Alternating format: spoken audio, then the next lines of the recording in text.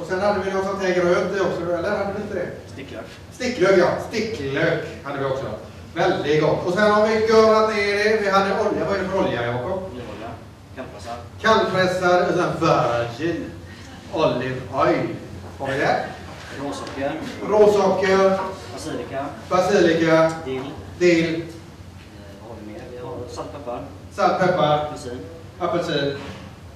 Ja, that's it ungefär. Och vi kommer att skicka ut och till. Då kan ni göra den här grejen så ska vi bara lägga upp det lite snyggt i en eh, kristallskål här. Så Peter, du kan få avsluta lite grann medan eh, vi gör detta.